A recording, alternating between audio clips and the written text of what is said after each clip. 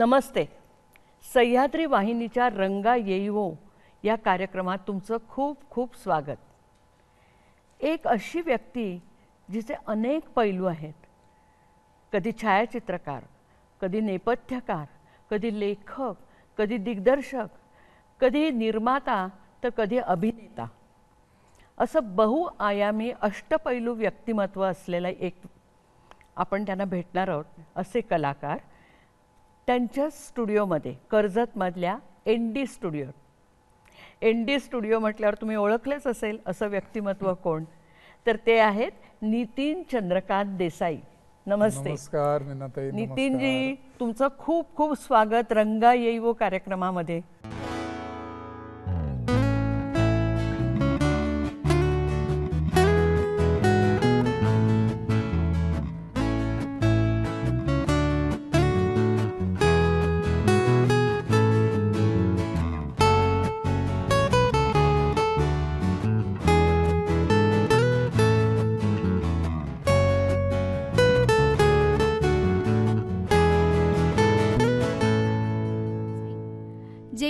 School of applied आर्टमध्ये छायाचित्रणाचे शिक्षण घेऊन आपली उपजीविका म्हणून अर्थार्जन करणारा एका सामान्य कुटुंबातला एक उमदा तरुण. पुढे एक भव्य दिव्य स्टुडिओ उभारून एक अनोखं विश्व उभं करेल असं कुणाला स्वप्नातही वाटलं नसेल. आज चित्रपट दुनियेत ज्याच्याकडे नेपथ्यकार म्हणून अभिमानाने मान उंचावून बघितलं जातं असा जगतविख्यात उद्योजक नितीन चंद्रकांत देसाई यांचा हा खडतर की सुखकर प्रवास कसा होता हे आपण आज त्यांच्याकडूनच जाणून घेणार आहोत.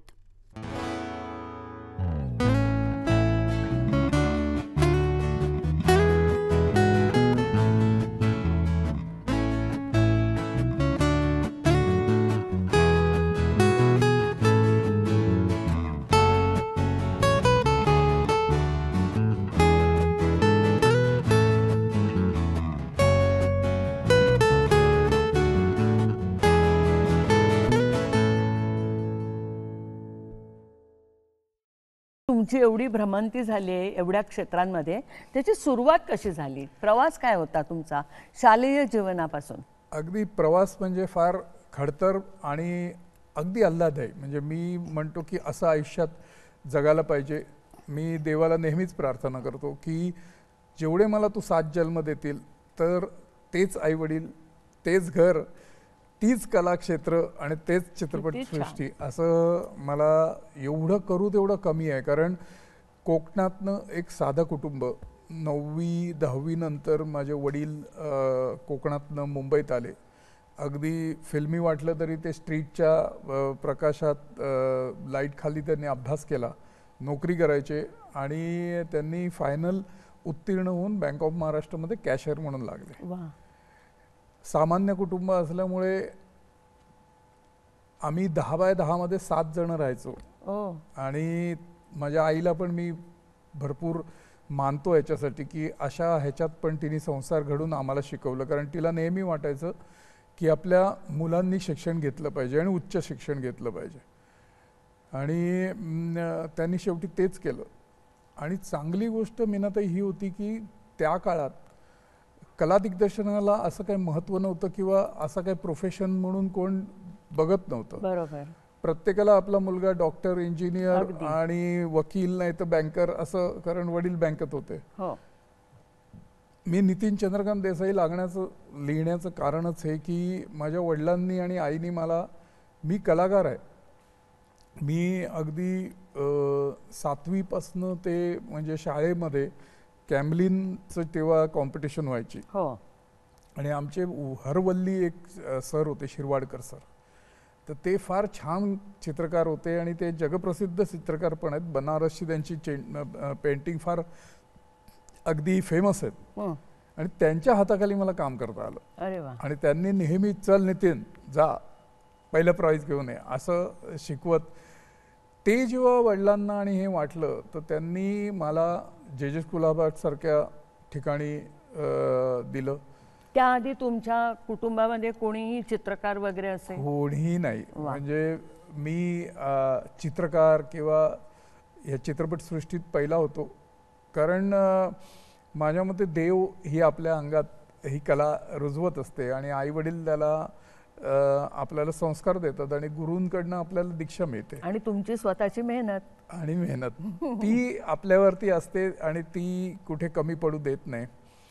पण जसं तुम्ही म्हणालात की म्हणजे आई वडिलांच्या ह्या सगळ्या इच्छेनुसार मी स्कूल ऑफ आर्टला गेल्यानंतर मी जेव्हा कलाक्षेत्रात काहीतरी करतोय. असं पाहिल्यावरती फॅमिली काय एवढी खुश नव्हती की कला कला दिग्दर्शक काय असणार? म्हणजे मुलांनी माझी बहीण डॉक्टर झाली माझा भाऊ इंजिनियर झाला म्हणजे त्यांनी दोघांनी आईवडिलांचं जे काही स्वप्न असेल ते पुरं केलं असेल. पण मला देवानी कलाकारच बनवल्यामुळे मी आपला त्याच वाट्याने चाल.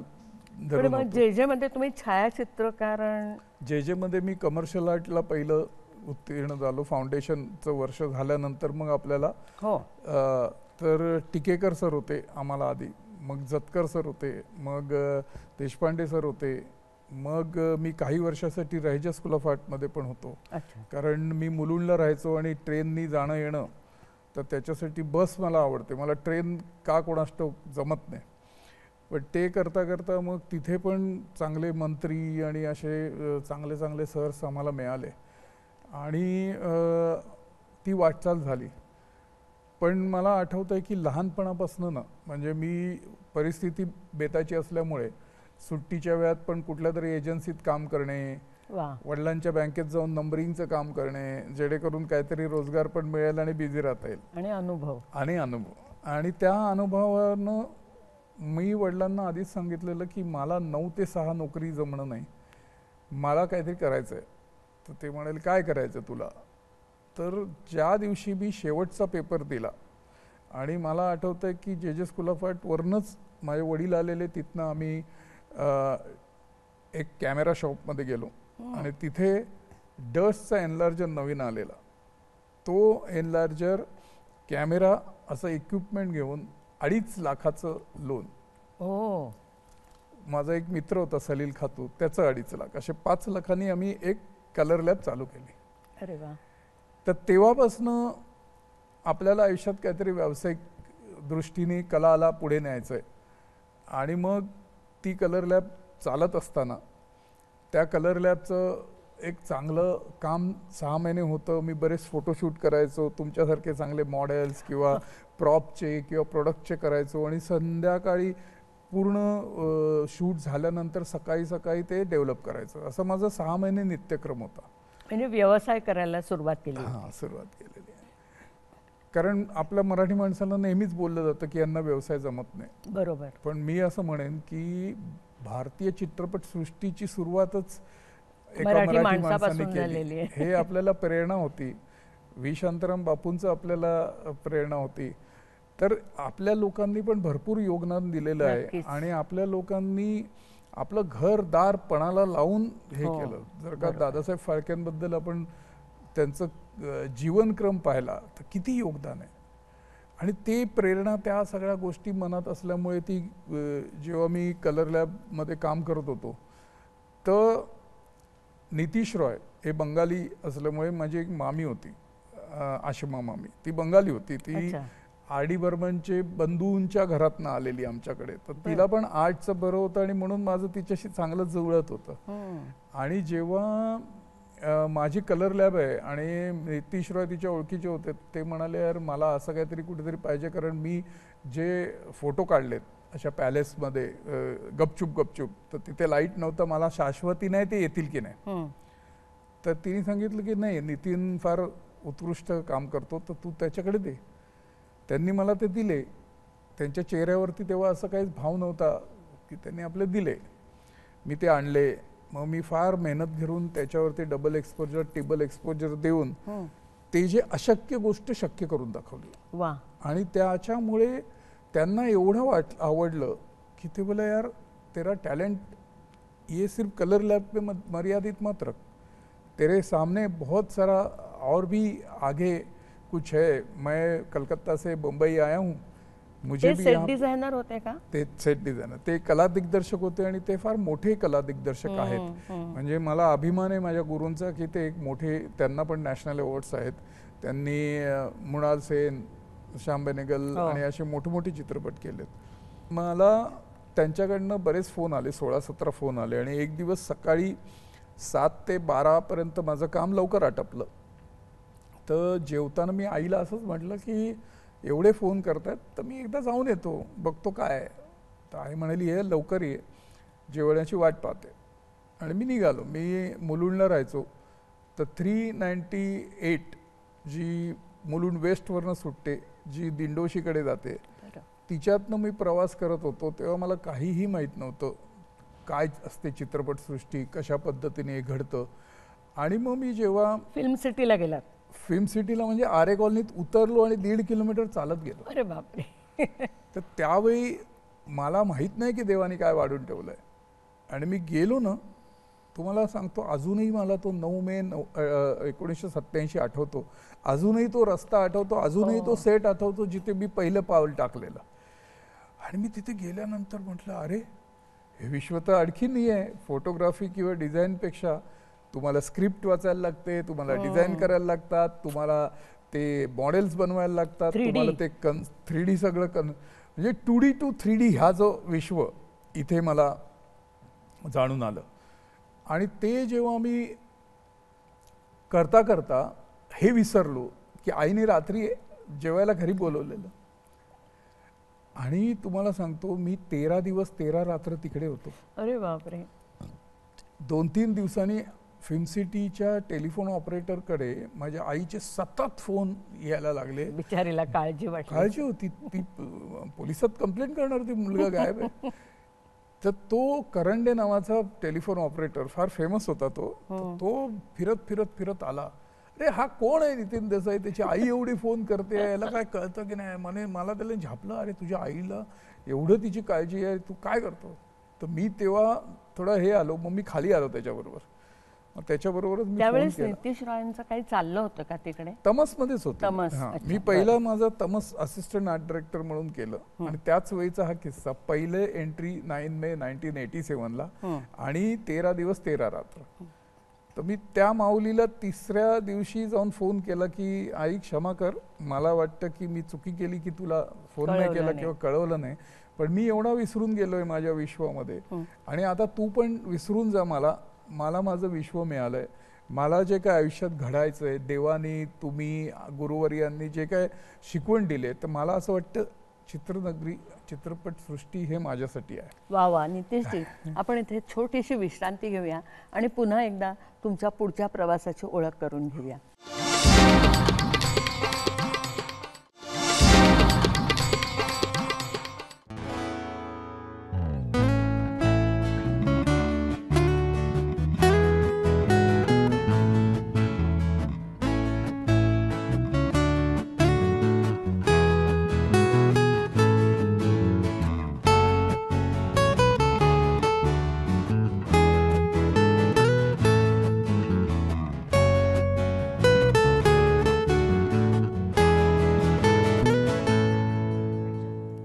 या छोट्याशा विश्रांतीनंतर पुन्हा एकदा आपण नितीनजींच्या पुढच्या प्रवासाबद्दल बोलूया. नितीनजी मला सांगा तुम्ही तमसमध्ये असिस्टंट डायरेक्टर होतात. पुढे पुढचं कुठचं होतं तुमचं प्रोजेक्ट तमस जसं मी तुम्हाला म्हटलं की तेरा दिवस तेरा रात्र झोप नाही. मला पंधरा मिनटं जरी आंघोळ करायला जायचं ना तर असं वाटायचं की मी त्या विश्वातनं कसं बाहेर आलो? आणि ते तेरा दिवस तेरा रात्र मी जेव्हा बनवलं तर ते पाच दिवसाच्या शूट नंतर तोडायची वेळ आली. ओ. एक मोठी स्ट्रीट पंजाबची बॉर्डरची. त्याच्यामध्ये एक मस्जिद होती जिथे माझ्या आयुष्यातला पहिला दिवस शूटिंगचा. ओमपुरी डुक्कर आणि मी. जो डुक्कर मारण्याचा सीन जो होता जे दीपासाई त्याची वाट पाहत बसले ते एक घर होतं. आणि ते सगळं त्या मस्जिदच्या बाहेर आणून ठेवतो आणि मग ते हे होतं. असा सीन असल्यामुळे आम्ही मस्जिद तयार केलेली आणि स्ट्रीट होती. आणि ती पाच दिवसात तोडणं म्हणजे मला कसं तरी व्हायला लागलं की यार आत्ता तर क्रिएटिव्हिटी केली. आपलं प्रॉडक्ट असं उद्ध्वस्त होतंय पाहवत नाही. समोर आपली कलाकृती आणि तो मिनार आहे ना मीनाताई माझ्यावरती असा अंगावरती आला. हो. मी जर का टुणकण उडी मारून बाजूला गेलो नसतो तर आज तुमच्यासमोर नसतो. आणि तेव्हा मला हाईटचं आणि जजमेंट आलं. की काय असतं? कारण आधी मी फोटोग्राफर होतो आता two D to three D झालो. त्या रात्री मी प्रचंड डिस्टर्ब होतो. पण दुसऱ्या दिवशी परत जोमाने लागलो ती मस्जिदच्या तिथे आम्ही एक घंटाघर बनवलं.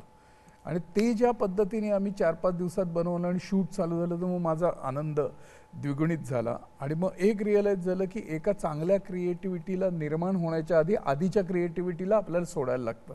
आणि मग तुम्ही जसं म्हणालात की तमसनंतर मग माझं काम गोविंद निलानंदना आवडलं नितीश रॉयंना आवडलं सगळ्यांना आवडलं.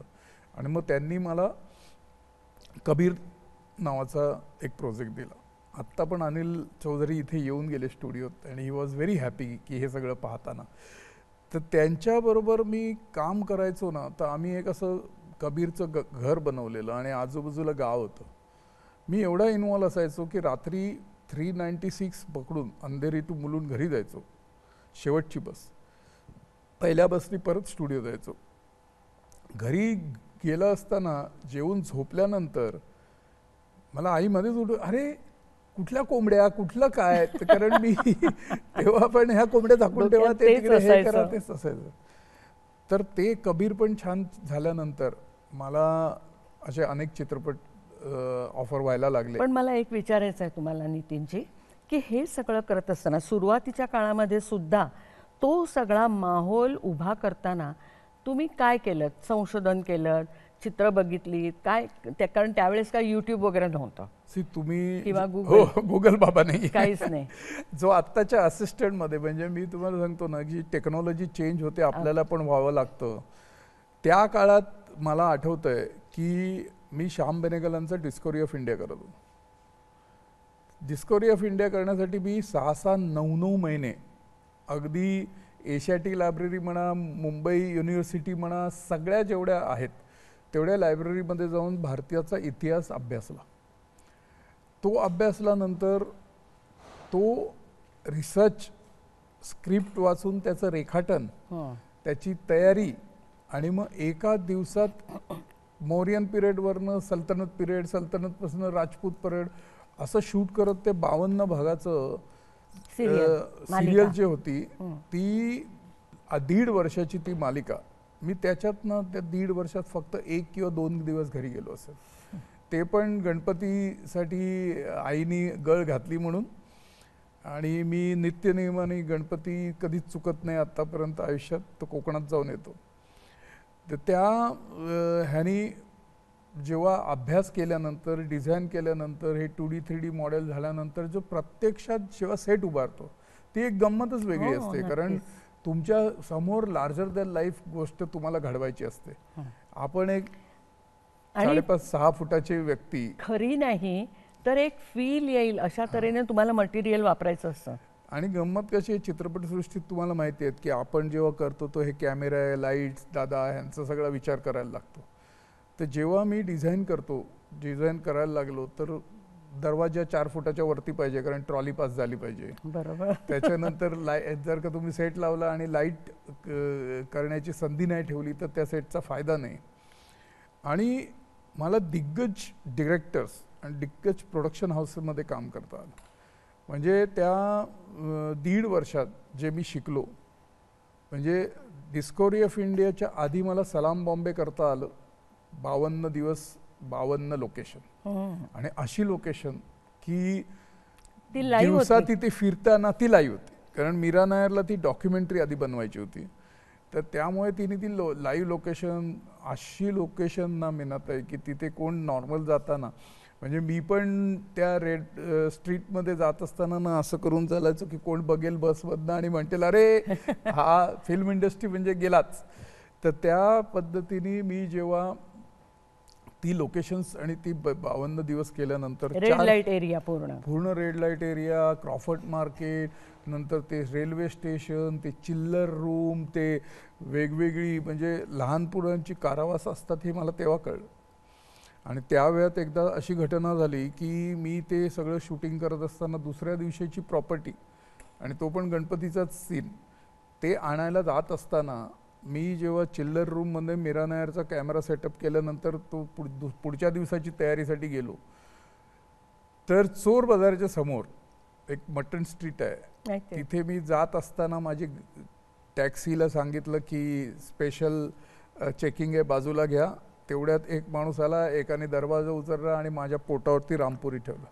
ओ माय गॉड माझ्या आयुष्यात मी ऐकून होतो रामपुरी चाकूबद्दल पण पहिल्यांदा पाहिला. अच्छा गंमत काय तो गंजला गंज आलेला होता. पण तरी पण ते मन पहिल्यांदा होतं म्हणून एवढं घाबरलं. तर माझी त्यांनी बॅग उचलली आणि तो घेऊन ओ ओ ओ आणि त्या झटक्यामध्ये कारण माझ्या त्याच्यात कॅमेरा होता सगळं होतं मीरा नायरचे सगळ्या गोष्टी होत्या. प्रोडक्शनच्या गोष्टी होत्या त्यामुळे मला जास्त दुःख होतं. तर मी तसाच हे करत मीराला भेटायला गेलो मग तिने पोलीस कंप्लेंट करायला सांगितली मग आम्ही गेलो. मग हे मी रात्री ना आईला गपचूप गपचूप सांगितलं की बाबा असं असं झालंय आणि असं. तर आई लगेच टेन्शन मी म्हटलं उद्या मी ओळख परडेला जाणार आहे ते असं काहीतरी असतं म्हणे. हो. तर मी म्हण तर आई म्हणाल नको नको आपल्याला नको ते कॅमेरा नको काय आहे, तू काय असं ह्याच्यात फंदात पड. मग मी मोळक परवडला गेलं असताना तिथे ती जी माणसं उभी राहिली असताना मला कोण दिसेच ना. मला ते सगळे डिफ्युजच दिसायला लागले आई आठवायला लागली. मग मी तो अनुभव ठेवून तो प्रोजेक्ट कंप्लीट केला आणि मी चार दिवसाची सुट्टी मागून गोव्याला जाणार होतो. कारण सँडी सिसिल त्याची कॅमेरा बनवती सुनीता रापूरवाला रायटर होती आणि मीरा नायर. असं सगळेच एक चांगला प्रोजेक्ट झाला म्हणून. आणि मग मी नितीशरावांकडे गेलो की मी एवढं आता बावन्न दिवस डे नाईट केलं तर आता मला तर छे वेडा आहेस का? उद्यापासून श्याम बेनेगल यांचं डिस्कवरी ऑफ इंडिया चालू होतं उद्या पोच स्टुडिओमध्ये. बापरे. तर मी आपलं त्यांना सांगितलं टाटा बाय बाय मग मी आत्ता येऊ शकत नाही. आणि मी स्टुडिओमध्ये डिझाईन करतोय. तो प्रोजेक्ट सहा ते नऊ महिने पुढे गेला. पण मी डिझाईन आणि हे करत होतो रिसर्च करत होतो. आणि मग तो प्रोजेक्ट चालू झाल्यानंतर मीनाताई जसं मी म्हटलं दीड वर्ष मी त्याच्यात होतो. मी एवढा गुंतून गेलेलो की मला घरी जायची काही हे नव्हतं पण त्याच्यातनं अशी मजा येत होती ना की आर्यन पिरियड ममोरियन पिरियड मग सल्तनत पिरियड असे एक एक एक एक तुम्ही उभे करताय. आणि श्याम बापूंबरोबर आणि काम श्याम करणं गोविंदजी पण. तुम्हाला सांगतो की माझ्या आयुष्यात डिस्कवरी ऑफ इंडिया हा एवढा महत्त्वाचा प्रोजेक्ट. त्यावेळी मीरा नायरचं काम केलेलं मला ना मीनादे दोन हजार मिळायचे. मी अजून माझ्या असिस्टंटला पण सांगतो. कारण आत्ताची मुलं जसं तुम्ही म्हणालात गुगल बाबा नेट आणि किती बघा. हा. तर त्याच्याऐवजी आपल्याला तर त्यावेळी जे मिळतंय तेच मोठं. तर ते करत असताना मला मीरा नायरनी तिची फिल्म मी चांगली केली सलाम बॉम्बे म्हणून एक तिचा मित्र फ्रेंच डायरेक्टर भारतामध्ये आलेला. त्याला भेटायला सांगितलं. त्यांनी मला ऑफर अशी दिली की फक्त पाच आठवडे आठवड्याचं काम आहे आणि पावणे दोन लाख मिळतील. आणि दोन हजार तुम्ही दीड वर्षासाठी हे केलं तरी छत्तीस हजार होतात. तर छत्तीस हजार घेऊन मी पावणे दोन लाख सोडले पण ते जे काय मी शिकलो. ते जे काय आत्मसात केलं तो जो काय कॉन्फिडन्स आला तो अनुभव त्यामुळे माझ्या आयुष्यातलं महत्त्वाच्या प्रोजेक्टपैकी डिस्कवरी ऑफ इंडिया होतं. आणि मग ते बघून चंद्रप्रकाश द्विवेदीला माझं काम आवडलं. चाणक्य. चाणक्य. नितीश रॉयनबरोबर आम्ही चालू केलं. पण तेरा एपिसोड नंतर मी स्वतः इंडिपेंडेंटली ते करायला लागलो कारण नितीशदा हैदराबादला गेले. आणि मृगनयनी. ज्याच्यात आपण भेटलो. ज्याच्यामध्ये अमोलदादांची पहिली मालिका. म्हणजे तुम्हाला सांगतो ना की मृगनयनीतले काही अनुभव असे आहेत की डिझाईन करा बनवा हे करा. अच्छा अमोलदादा आणि वझे होते तेव्हा हो. ते प्रोड्युसर प्रोड्युसर आणि तेव्हा ते किती बजेटचं इश्यू माझं बजेट एक लाख दहा हजार जात होतं.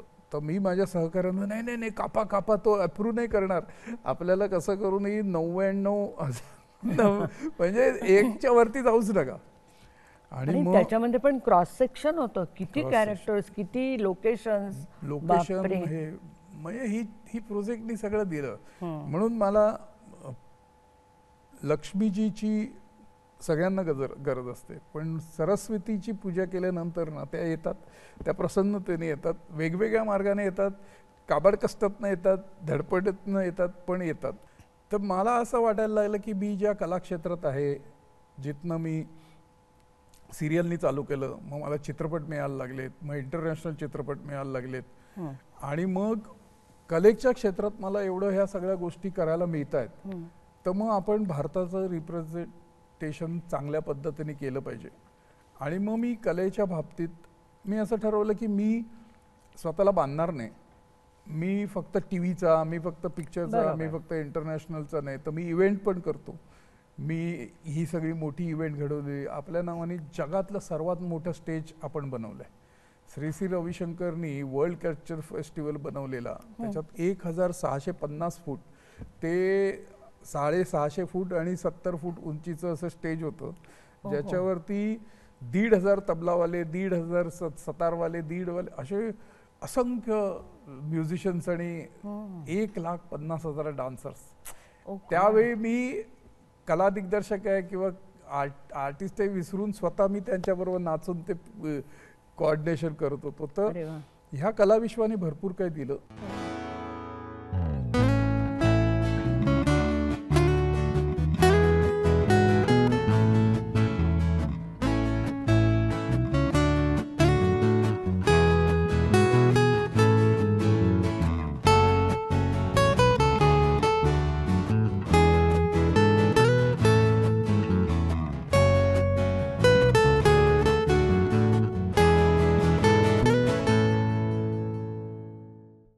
एका पटनं एक पिक्चर करत.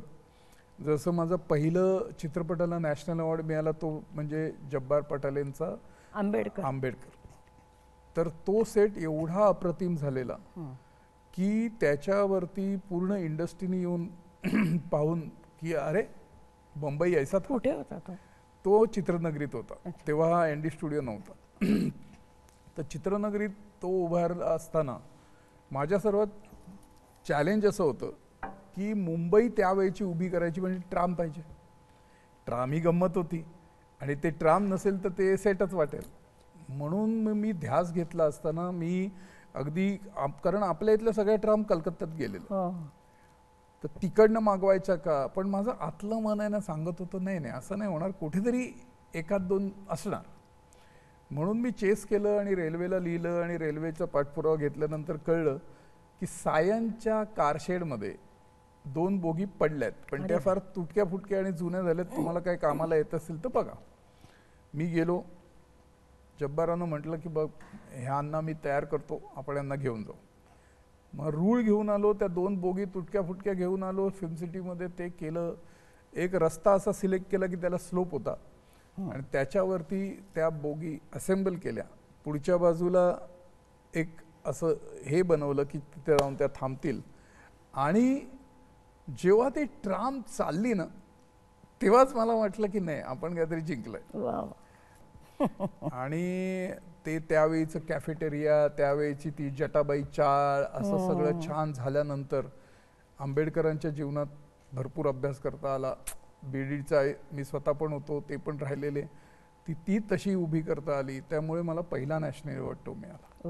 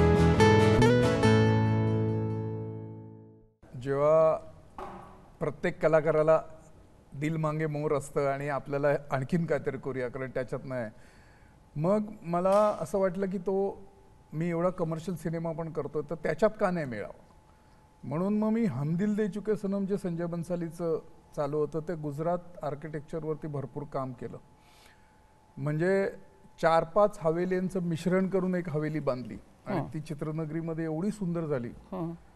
की तिच्यातली जी रूम आहे ते ऐश्वर्या राय त्याच्यात अगदी एवढी समावून गेली. तो चित्रपट शूट करताना पण ती त्याच्यात बसलेली असायची मेकअप रूममध्ये कमी जायची.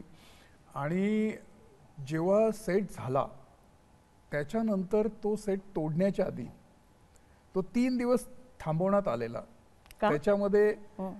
ऐश्वर्या रायला एक दिवस त्याच्यात वेळ घालवायचा होता. ती म्हणाली की मी एकटी इथे दिवसभर बसू इच्छिते. त्याच्यानंतर संजय बन्सालीनी दुसऱ्या दिवशी बसलं. वा मग तिसरा दिवस माझा मान होता म्हणून मी तिथे बसलो. पण तो सेट एवढा छान होता की मी तुम्हाला सांगतो की मी दिवसभर काम केलं ना तर घरी जेवताना ना मी एकतरी पिक्चर पाहतो किंवा काहीतरी पाहतो. तर मी एकदा टी व्ही हे करत असताना मी ते पाहिलं. तर they are talking about Vastushastra feng shui आणि. ते नमुना देतात. मी म्हटलं हा ओळखीचं वाटतंय. तर तो हमदिल देचिके सरांचा सेट होता. अरे. ते म्हणाले की ती हवेली एवढ्या परफेक्ट पद्धतीने वास्तुशास्त्राच्या हिशोबाने लागली की नॉर्थ ईस्टला पाणी ईस्ट वेस्ट फेसिंग आणि तिची लेवल्स वरती चढणारी होती. आणि त्याच्यामुळे तो पिक्चर सक्सेसफुल झाला असं लोकांचं काहीतरी म्हणणं झालं. तुम्हाला. माहीत नव्हतं हे सगळं शास्त्र. पण त्याच्यानंतर मी शिकलो. हं. कारण आम्ही कला दिग्दर्शक किंवा कॅमेरा आणि आपल्या फिल्मच्या दृष्टीने तुम्ही पण बघा ना कुठला असेल तर फेस सनकडे करता. Because you know you want to take a light आणि तो लाईटमधनं तुम्हाला ऊर्जा पण मिळते आणि चेहरा चांगला दिसतो. म्हणून एन डी स्टुडिओतले सगळे तुम्ही जर का हे पाहिलेत लोकेशन लोकेशन तर त्यांचं फेसिंग परफेक्ट आहे म्हणून तो चांगला होतो. मी जे सेट्स लावलो ते स्क्रीनवरती पण चांगले दिसायला लागले. मग दुसरा नॅशनल अवॉर्ड त्याला मिळाला. मग तिसरा मिळाल्यानंतर परत दिल मांगे मोर आणि आपण काहीतरी करावं. तर आशुतोष गोवारीकर जो माझा प्रिय दिग्दर्शक आहे त्याच्याबरोबर मी अनेक चित्रपट केले. म्हणजे पहिला नशापासून तर मी हमदिल दे चुके सनमच्या लोकेशन हंटिंगला जात असताना आशुतोषनी लगानची स्क्रिप्ट मला दिलेली. अरे वा. आणि ती स्क्रिप्ट जेव्हा मी लगानच्या हातामध्ये घेतली आणि मग राजकोट ते भुज जेव्हा मी प्रवास करताना ती माझ्या असिस्टंटनी मला वाचून दाखवली. ती वाजल्यानंतर माझ्या डोळ्यासमोर काही व्हिज्युअल्स यायला लागली. आम्ही गेलो रात्र झालेली. ते प्रिन्स हॉटेल आहे तिथे मस्त व्हेज गुजराती थाळी खाल्ली. झोपलो. सकाळी पाचला उठून निघालो. सूर्य उदयाच्या आधी आपल्याला लोकेशन पाहिजे तर लगा हमदिल दे चुके सनममध्ये ऐश्वर्या राय जी लगोरी मारते जो पहिला इंट्रोडक्शन सीन आहे. त्याचं लोकेशन मी तिथे पाहिलं. अच्छा. पण ते पाहिल्यानंतर मला ती स्क्रिप्टच आठवायला लागली. मग मी आणखीन फिरल्यानंतर मला आशुतोषची भरपूर लोकेशन तिथे दिसली. हं. आशुतोषची ती जेव्हा पाहिल्यानंतर मी फोन केलं आशू तू लगानची जी स्क्रिप्ट दिसली मला इथे दिसायला लागली आहे आपण इथे करू शकतो. आणि तर जेव्हा मी त्याला असं म्हटलं तर तो बोला अरे छान छान आहे. तेव्हा हे सेल्फी बिल्फी नव्हते व्हॉट्सअप नव्हतं. हो, बरोबर. तेव्हा आपले नॉर्मल कॅमेराने फोटो काढायचे आणि दाखवायचे. बरोबर. मग मी ते फोटो काढले मी ते डेव्हलप केले मी दाखवले आशूकडे गेलो आशू पण एक्साईट झाला. आशू एक्साईट झाल्यानंतर आम्ही मिस्टर परफेक्शनिस्टकडे गेलो. तेव्हा मी त्याच्याबद्दल रायझिंग पण करत होतो तर त्यामुळे माझ्याबद्दल आत्मविश्वास तर त्याला होता हं.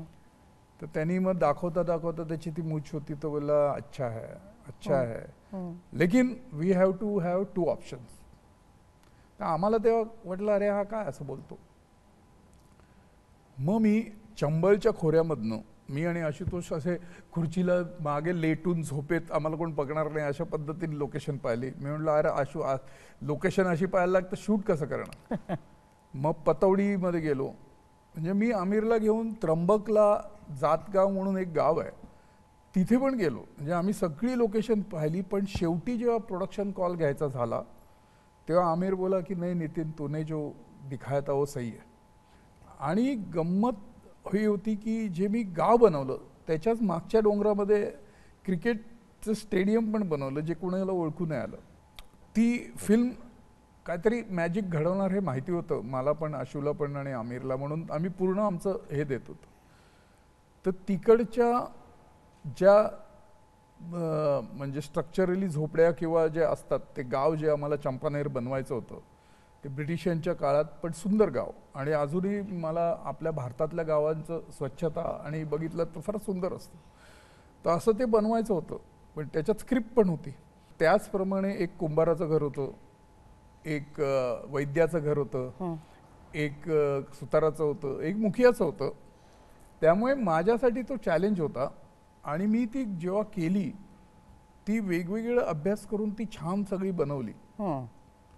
बनवल्यानंतर जेव्हा पहिली विजिट टेक्निकल होती तेव्हा अनिल मेहता जो आमचा डी ओ पी होता नंतर अशू मी आमिर आम्ही सगळे प्रोडक्शन गेलो म्हणजे मी तुला सांगतो कसं काय काय करायला लागतं ती घरं तर छान झाली पण ते जे तुम्हाला ग्राउंड दिसतं ना.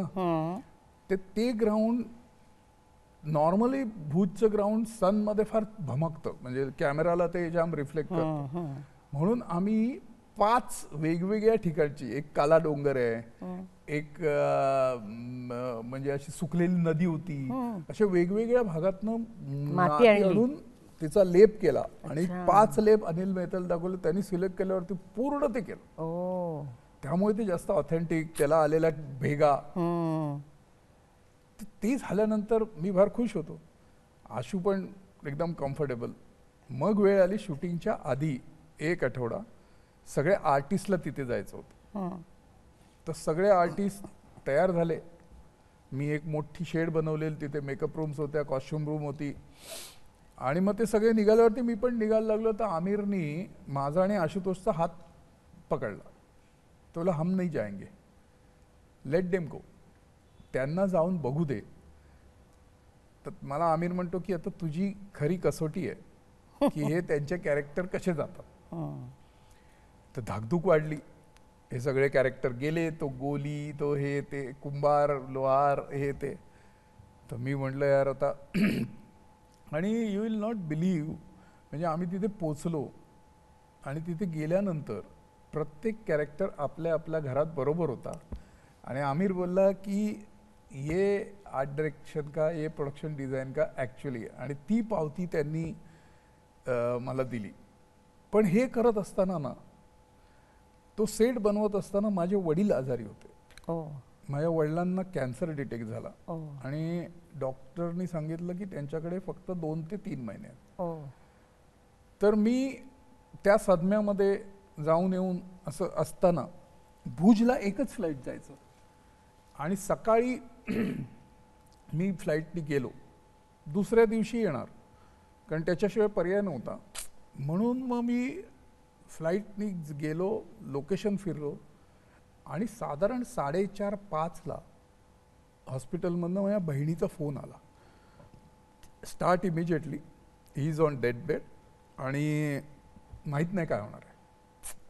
कारण त्यांचं जे आम्ही सतरा तास जागून ऑपरेशन केलेलं तर त्यांच्या स्कलला इथे असं एक मोठं भोग पाडलेलं तर त्याच्यातनं त्यांचा जो ट्युमर बल्चआउट झाला आणि तो हात लावू नाही शकत. डॉक्टर म्हणाला की ही विल डाय और ही विल पॅरलाइज तर बहीण डॉक्टर असल्यामुळे हे होतं तर मला धडधड होती. आणि मी त्या सदम्यामधनं बाहेर येईना मग मी चौकशी करतोय कुठलं फ्लाईट कसं पोचीन रोडनी जाईन का ट्रेननी जाईन ना? तर ती धडपड माझ्या ड्रायव्हरनी पाहिली. म्हणजे मी जिथे जातो ना हिमाचलमध्ये एक परमनंट ड्रायव्हर आहे राजस्थानमध्ये एक आहे गुजरातमध्ये. तर तो मला ओळखत होता. तो मला बोलला की तुम्हाला जे मी पाहतो तुम्हाला जे ओळखतो तुम्ही काय शांत नाही बसणार. पण मी एका ठिकाणी तुम्हाला घेऊन जातो. आत्ता तुम्ही तिथे नाही पोचू शकत तर कोणतरी पोचेल. तर मला कळे ना मी चाललोय गाडी जाते सनसेट व्हायला आलेला आहे. अंगावरती सगळ्या तिरीप होत आहेत विचार लहानपणीपासनाचे वडिलांचे सगळे फ्लॅशबॅक अशा सगळ्या गोष्टी माझ्यासमोर येत होता. आणि त्या सगळ्या येत असताना मी पोचलो. मातादू मठ म्हणून भुजपासून नव्वद किलोमीटरमध्ये एक देवीचं आहे जे आत्ता मी स्टुडिओमध्ये पण हो. तिची स्थापना केली आहे. बरोबर. तर मी गेलो आणि सरळ ललकारलं तिला की मी कलाकार बनून तुझ्या प्रांतात आलेलो आहे. आणि त्या प्रांतामध्ये मी जाऊ शकत नाही एक मी साधा माणूस आहे. मला आज बघायचं आहे मला आज बघायचं आहे की देव काय असतं. आज तू तिथे पोच मी हो- जाईपर्यंत त्यांना काही झालं नाही पाहिजे. असं मी अगदी रागाने तेव्हा हे केलं. पण तेव्हापासून माझा देवावरचा राग गेला कारण मी जेव्हा बाहेर आलो तेव्हा मोबाईल नव्हते. हो. मी एस टी डीतनं फोन लावला. तर बहीण म्हणाली Nitin it was a magic काय चमत्कार झाला मला कळलं नाही म्हणे. ते ॲटोमॅटिक आत गेलं. हं. आणि तू आता घाई नको करू. हो. तू उद्या ये. वा वा वा. ते करून मी उद्या परत आलो. डॉक्टर भेटल्यानंतर बोलले की त्यांच्याकडे दोन ते तीन महिने आहेत. मेडिसिनने काम घेतलं म्हणजे सगळं बजावलेलं आहे. आता मेडिसिन देऊन काहीच फायदे नाही आहेत. तुम्ही त्यांना काय बेस्ट आहे ते द्या. आणि लगान एवढा सुपर डुपर हिट झाला एवढा छान ॲप्रिशिएट झाला. मी ना ते त्यावेळी मला सगळे अवॉर्ड मिळाले. आणि मला आठवतं आहे की जेव्हा त्यांना ते अवॉर्ड्स घ्यायला मी घेऊन जायचो व्हीलचेअरमधनं हं. माझा अवॉर्ड त्यांना घ्यायला लावायचा. अरे वा. आणि मी जेव्हा तिसरा माझा नॅशनल अवॉर्ड मिळाला तर आपल्याला दिल्लीला जावं लागतं. दिल्लीला ते फार शाही पद्धतीने आपल्याला तो देतात. तो घेतल्यानंतर राष्ट्रपतींचं भोजन असतं आणि मग दुसऱ्या किंवा तिसऱ्या दिवशी आपण येतो. हं. तर अब्दुल कलाम होते. बरं. आणि त्याच्या आदल्या वर्षी पण मला त्यांच्याकडनं अवॉर्ड मिळालेला. तर त्यामुळे अशी नजरा नजर तर मी म्हटलं की सर मैं आपसे स्वीकार रहा हूँ लेकिन मैं भोजन के लिए रुक नहीं पाऊंगा। मेरे फादर वहाँ पे मेरा इंतज़ार कर रहा ते आपले तो घेतला. रात्रीच्या लेट नाईट फ्लाईटने मी मुंबईत आलो. मुंबईत आल्यानंतर मी घरी गेलो ता तातडीने तो अवॉर्ड घेऊन. आणि तो अवॉर्ड जसा मी बेल वाजवली तर दार उघडलं तर माझे वडील तिथे बसलेले. आणि आई आरतीचं ताट घेऊन तिथे. उभी होती. औक्षण करायला. औक्षण करायला. तिने नेहमीप्रमाणे औक्षण केलं. मी तो नॅशनल अवॉर्ड बाहेर काढला. ते औक्षण झाल्यावरती मी तो नॅशनल अवॉर्ड माझ्या वडिलांच्या गळ्यात टाकला. आणि जी व्यक्ती माझ्या मते चार पाच महिने कधी हसली नव्हती. कधी त्याला कुठल्या गोष्टीचा आनंद नाही वाटलेला. तर त्यांनी तो नॅशनल अवॉर्ड गळ्यात घातल्यावरती तो असा हातात घेतला आणि असा पाहिला. आणि माझ्याकडे बघितलं आणि हसले. हसले आणि त्याच्या डोळ्यात जे आनंद अश्रू आले तो टपकन एक अश्रू त्या नॅशनल अवॉर्डमध्ये मिळाला. आणि अजूनही तो मी लॅमिनेट करून तसाच जपलाय. sweet. आणि म्हणून माझ्या दृष्टीने आयुष्यात मी काही नाही फक्त तो नॅशनल अवॉर्ड मला महत्त्वाचा वाटतं. हे सगळं विश्व मायावी विश्व आहे.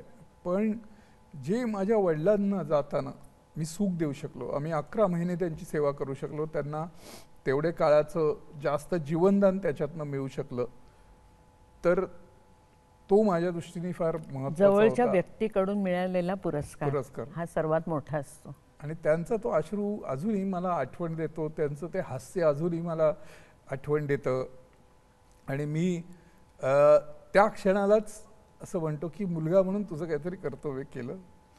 मग चौथा नॅशनल अवॉर्ड मला देवदासला मिळाला. मग अनेक मिळाले. मला पाचवा पण मिळता मिळता राहून गेला.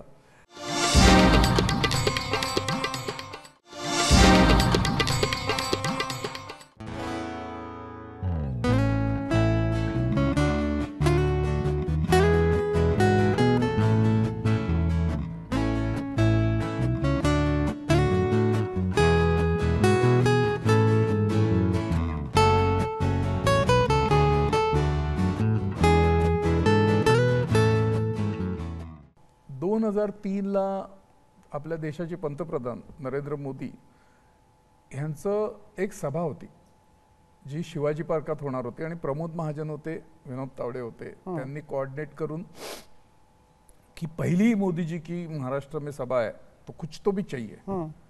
मग त्यांनी विनोद तावडे आधीपासूनचे मित्र राहिल्यामुळे त्यांना माहिती आहे कलामध्ये हाच काय रुस्तम तर ते माझ्याकडे आले मी म्हटलं की बघा ते नॉर्मल जर का तुम्हाला काय करायचं असेल तर मला काही इंटरेस्ट नाही ते फ्लेक्स लावून कुठेही करू शकतो. बरोबर.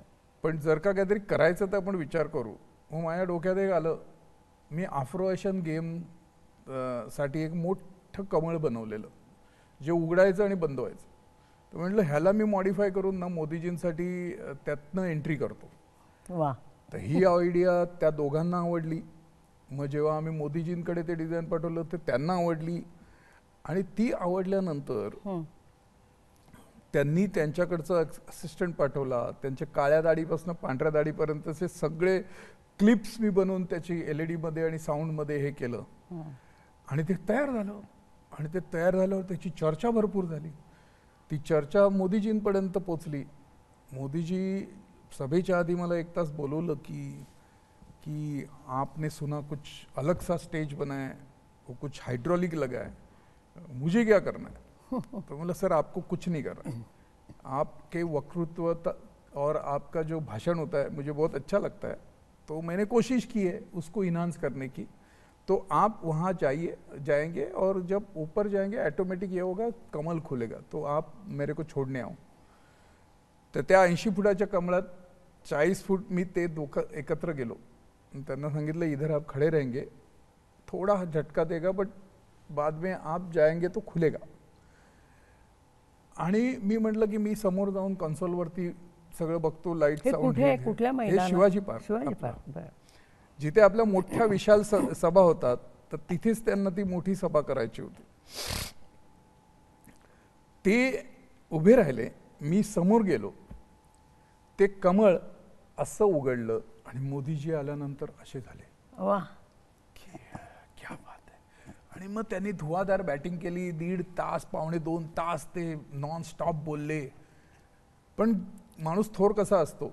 आणि एखाद्या मोठ्या माणसाने कलाकारांना कसं जपायचं असतं? हे त्यांच्याकडनं शिकावं. हे मी आता या साडेसहा वर्षात सदुसष्ट त्यांची मोठमोठी कामं केली. त्याच्यात त्यांनी प्रचंड पद्धतीने मला सहकार्य दिलं. तर जेव्हा त्यांची सभा संपत होती तर त्यांनी तिथे बोलले की यहाँ पे जो तमाम ढाई लाख लोग आए वो एक लाख नरेंद्र मोदी को देखने आए और डेढ़ लाख मेरे मित्र नितिन देसाई ने जो मंच बनाया।